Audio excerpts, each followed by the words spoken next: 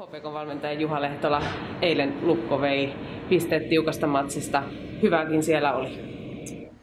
Oli, oli hyvää ja, ja tota, oli huonoa ja niitä, niitä tuossa käytiin läpi ja ajatukset siirretty iltaa, iltaa kohti. Vähän puhuttiin, että mitä nähtiin, mistä pidettiin ja, ja mitä semmoisia asioita, mitä ei haluta nähdä enää. Ja, ja tota, niitä käytiin tuosta videolta ja suullisesti läpi ja yritetään parantaa tänään. Millaisia asioita haluatte tänään nimenomaan parantaa?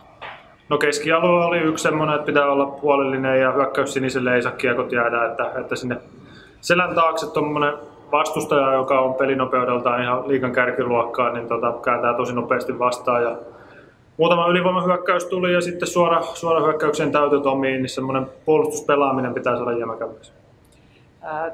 Viikko on tavallaan nyt käänteisessä järjestyksessä, kun ensin pelataan tuplaottelut ja viikonloppuna vain yksi. Luoko se jonkunnäköistä erilaista asetelmaa teidän viikkoon tai millainen tämä on pelaajille? Tänään on kuitenkin kolmen tunnin bussimatka edessä, tai reilun kolmen tunnin.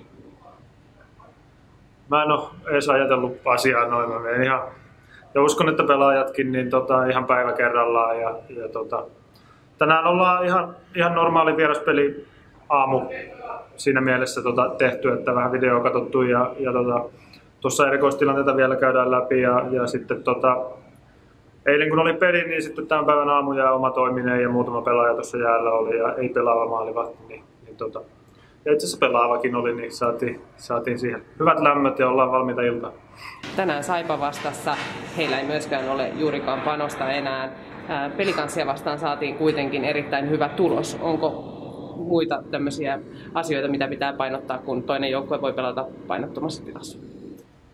No en mä usko, että me niin paljon siihen, siihen vastustajaan keskitytään, että se oli hyvä tason nosto meiltä muutenkin se, se peli kanssa peli vähän heikomman kahden, kahden pelin jälkeen ja, ja semmoinen niin suoraviivaisuus ja, ja halu, halu, toteuttaa sitä meidän, meidän omaa sapluunaa, niin se pitää myös tänään näkyä, että, että niin kuin sanoit, niin ei ole sillä niin panosta enää vastustajalla, niin saavat vapautuneesti, vapautuneesti pelata, että jos me ruvetaan yhtään löysäilemään, niin tulee kyllä tosi vaikea ilta.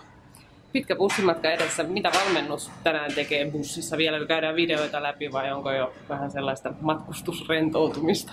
No kyllä mä uskon, että se rentoutumisen merkeissä menee vähän leffaa ja, ja jääminen täyttää ristikoita ja, ja tota me yritetään vähän uudella sieltä takaa. Kiitos, että tsemppiä ristikoihin. Kiitos.